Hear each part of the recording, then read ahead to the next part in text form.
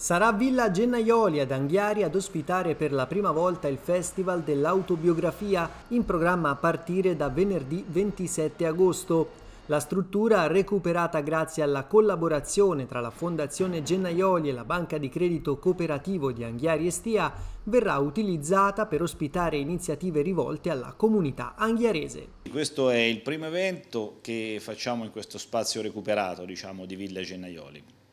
Eh, diciamo che la Libera Università dell'Autobiografia, che è l'associazione che fa il festival, ma che durante tutto l'anno fa delle attività ad Anghiari, ci ha chiesto la possibilità di utilizzare lo spazio eh, perché usualmente i loro lavori venivano effettuati all'interno del teatro, ma adesso con le restrizioni del Covid insomma, era più utile avere uno spazio diciamo, allestito all'aperto. Quindi ci hanno chiesto la possibilità di utilizzo e la banca è stata ben felice di assecondare questa richiesta eh, perché è il primo vero evento, diciamo, tra virgolette, pubblico che si fa lì in quello spazio. Eh, il complesso di Villa Gennaioli è stato recentemente recuperato, anche se non integralmente, ancora dobbiamo fare dei lavori per recuperare dei diciamo, ruderi così, di case coloniche che ancora devono essere sistemate, però la villa è stata interamente ristrutturata, così il giardino che può essere utilizzato e fruito appunto anche all'aperto come faranno appunto i, diciamo, gli utenti della libera università. Questo spazio sarà, avrà un utilizzo diciamo così, multiplo per, per varie cose, per esposizioni, per eh, concerti. L'impegno eh, della banca anche nel recupero e nel rendere nuovamente fruibile un luogo come Villa Gennaioli testimonia la vicinanza del vostro istituto di credito alla comunità. Sì, naturalmente questo è uno dei, è uno dei segnali, insomma, della, io dico dell'importanza di avere una banca locale all'interno dei territori. Eh, sicuramente questo sarebbe stato un luogo abbandonato se la banca non avesse fatto l'accordo diciamo, per primo con la fondazione Marco Gennaioli Ollus che è diciamo, la proprietaria di tutta l'area e il partner con il quale noi ci siamo diciamo così, alleati per eh,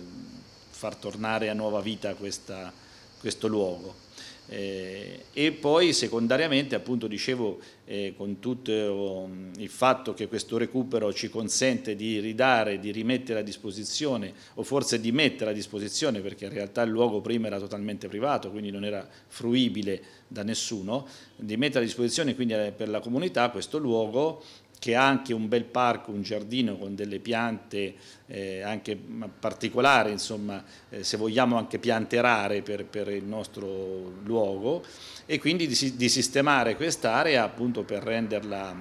uh, utilizzabile in quanto meno. Questo appunto è un segnale che va nella direzione come la banca fa tante altre cose, no? la banca sostiene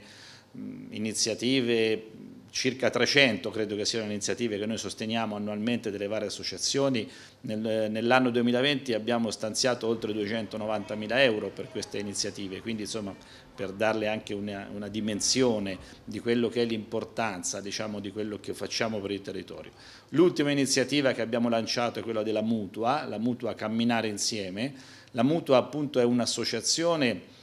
eh, diciamo che sarà mh, totalmente separata dalla banca ma di emanazione della banca perché è rivolta ai clienti e ai soci della banca che mettendosi insieme in questa mutua potranno avere dei servizi nel settore sanitario, culturale e diciamo così in generale diciamo, del sostegno alla famiglia per quello che riguardano le attività sportive, in particolare dei giovani ovviamente, e le attività appunto, culturali e di istruzione,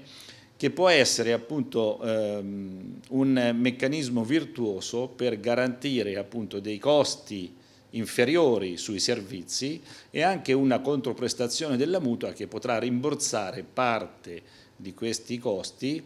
e quindi avere una fruizione eh, proprio data a tutti, no? la possibilità di dare a tutti di fruire di servizi diciamo, sia sanitari dal punto di vista ovviamente privato che dei, di culturali e di istruzione.